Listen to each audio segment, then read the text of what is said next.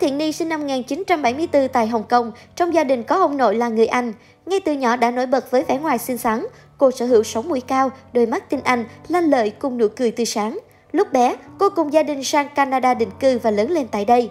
Quách Thiện Ni tốt nghiệp ngành tâm lý học và sau đó làm tiếp viên hàng không trong thời gian ngắn trước khi quay về Hồng Kông tham gia cuộc thi Hoa hậu Thiên niên. Năm 1999, nghe theo lời bạn bè, Quách Thiện Ni đăng ký tham gia cuộc thi Hoa hậu Hồng Kông do TVB tổ chức và giành được quán quân. Không chỉ giành vương miện Hoa hậu, cô còn được trao nhiều giấy phụ như Hoa hậu ảnh, Hoa hậu thân thiện và Hoa hậu giải trí. Hoa hậu đẹp nhất Hồng Kông Thời điểm đó, báo chí xứ Cảng Thơm ca ngợi Quách Thiện Ni là người kế thừa của Hoa hậu đẹp nhất Hồng Kông Lý Gia Hân bởi cô không chỉ xinh đẹp mà còn rất có khí chất, thông minh. Truyền thông Hồng Kông dự đoán cô sẽ sớm trở thành ngôi sao nổi tiếng. Sau ngôi vị Hoa hậu Hồng Kông, Quách Thiện Ni về đầu quân cho TVB. Một năm sau, cô đại diện xứ Cảng Thơm tranh tài tại cuộc thi Hoa hậu Hoa Kiều quốc tế được tổ chức ở Las Vegas. Với nhan sắc rực rỡ cùng vốn tiếng Anh lưu loát, một lần nữa mỹ nhân họ quách lại chạm tay đến với danh hiệu Hoa hậu Hoa Kiều thế giới. Cô trở thành biểu tượng sắc đẹp của mọi cô gái Hoa Kiều. Tính đến nay, trong lịch sử Hoa hậu Hồng Kông, chỉ có 3 người đoạt cùng lúc hai giải thưởng này, đó là Lý Gia Hân, Quách Thiện Ni và Trần Khải Lâm. Vương miện Hoa hậu là bước đệm hoàn hảo cho Quách Thiện Ni lấn sân vào làng giải trí xứ Cảng Thơm. Từ năm 2000 trở đi, Quách Thiện Ni là một trong những ngôi sao được nhà đài TVB ở bế và nâng đỡ hết mực. Năm 2001, TVB sản xuất bộ phim bom tấn Tầm Tần Ký, hay còn gọi là Cổ Máy Thời Gian, với sự góp mặt của dàn sao tên tuổi như Cổ Thiên Lạc, Tuyền Huyền và Quách Thiện Ni được giao hẳn vai nữ chính, ngang với đàn chị Tuyền Huyền trong ngưỡng mộ của nhiều khán giả.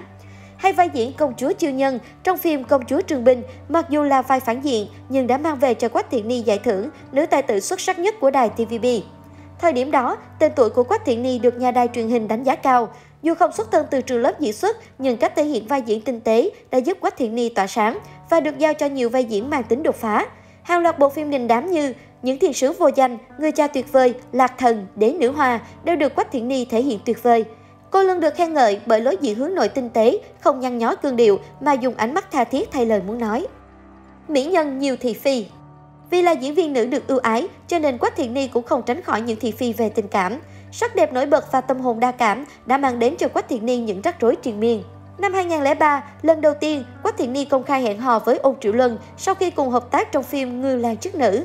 Mặc dù ông Triệu Luân không thực sự đẹp trai, lại mới trải qua khó khăn do đầu tư cổ phiếu trong thời kỳ khủng hoảng kinh tế trước đó, Quách Thiện Ni vẫn ca ngợi anh là người đàn ông đích thực. Thế nhưng, người hâm mộ cô đều cho rằng ông Triệu Lâm không xứng đáng với thần tượng của họ. Dẫu vậy, người đẹp bằng lòng bỏ qua những lời đồn đại không hay và khát khao hướng về tương lai tốt đẹp. Tuy nhiên, mối tình này nhanh chóng kết thúc vào năm 2004. Sau mỗi lần hợp tác với bạn diễn nam, Quách Thiện Ni luôn bị đồn có tình cảm với họ. Người đầu tiên dính tin đồn tình cảm với cô chính là nam tài tử Cổ Thiên Lạc sau khi họ hợp tác trong phim Cổ Máy Thời gian. Thời gian đó có thông tin, người đẹp bỗng biến mất khỏi phim trường Trác Châu, Bắc Kinh trong vòng 16 giờ. Về sau, người ta phát hiện ra Quách Thiện Ni đã ở phòng của nam chính Cổ Thiên Lạc. Về ồn ào này, Quách Thiện Ni lên tiếng phủ nhận, còn Cổ Thiên Lạc không giải thích điều gì. Chưa ngừng ở đó, mỗi lần đóng phim nào, Quách Thiện Ni cũng khiến truyền thông nhốn nháo với hàng loạt tin đồn hẹn hò. Những ban diễn như Mà Tuấn Vĩ, Trần Hào đều trở thành nam chính trong chuyện tình cảm của Quách Thiện Ni trên mặt báo.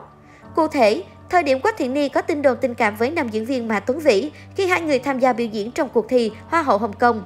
Quách Thiện Ni không chỉ bác bỏ tin đồn mà còn ám chỉ rằng đối phương đã lợi dụng tên tuổi của cô để PR bản thân.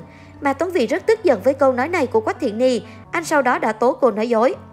Nam diễn viên Mà Tuấn Vĩ còn tiết lộ rằng anh và Quách Thiện Ni có tình ý với nhau sau khi hợp tác trong Huyền thoại bắt đầu và Trường Bình công chúa.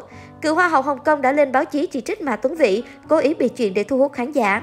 Việc làm này của cô đã khiến ban lãnh đạo TVB không bằng lòng. Chính vì thế, vai diễn trong phim Nấc thang cuộc đời của Quách Thiện Ni đã được TVB giao cho Hướng Hải Lam. Hàng loạt hợp đồng quảng cáo của nữ diễn viên cũng bất ngờ bị chấm dứt. Tiếp đó, Quách Thiện Ni bị các phóng viên chụp được hình ảnh đi mua sắm thân mật với nam diễn viên đã có vợ Mã Đức Chung. Khi đó, cô lên tiếng giải thích, dù tôi và Mã Đức Chung có liên lạc nhưng chúng tôi không có quan hệ tình cảm.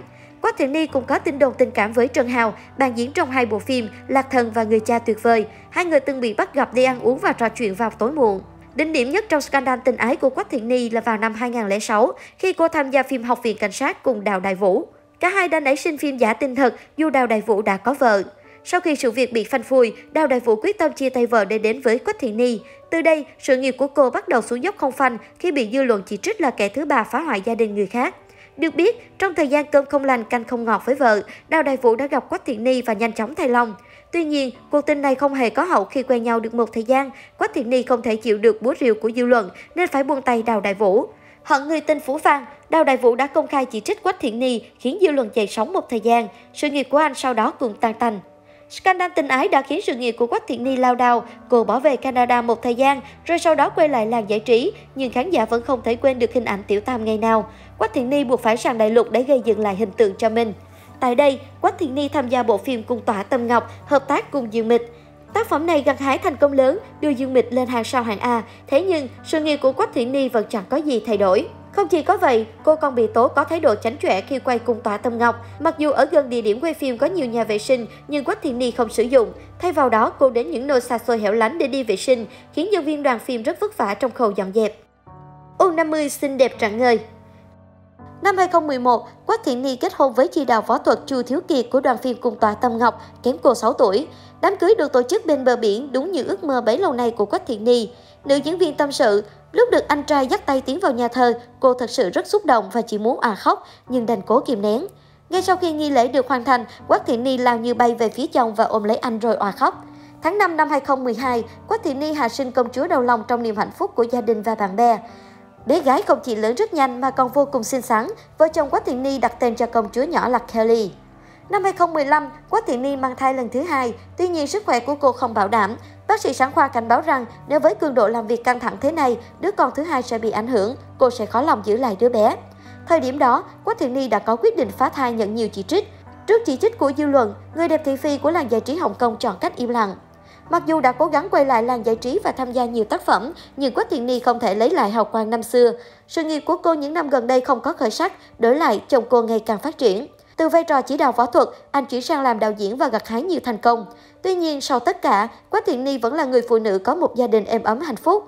Dù không còn nổi tiếng như xưa, nhưng cô vẫn tham dự một số sự kiện nhỏ và cũng có vài khán giả trung thành còn ủng hộ. Cô chia sẻ về cuộc hôn nhân với chồng trẻ rằng, mọi người thường mỉa mai rằng tôi vì hết thời, mất danh, phải đi lấy chồng nghèo, chấp nhận một cuộc hôn nhân khiêm tốn. Sau tất cả thì Phi từng nếm trải, tôi chỉ muốn tìm một người đàn ông chân thành để kết hôn. Người đó có tiền của hay không cũng chẳng sao, chúng tôi có thể cùng nhau xây dựng tổ ấm bằng chính đôi tay của mình. Và Chu Thiếu Kiệt là người tôi tìm kiếm. Ở tuổi 46, Quách Thị Ni vẫn giữ được vóc dáng trẻ trung hồng hào.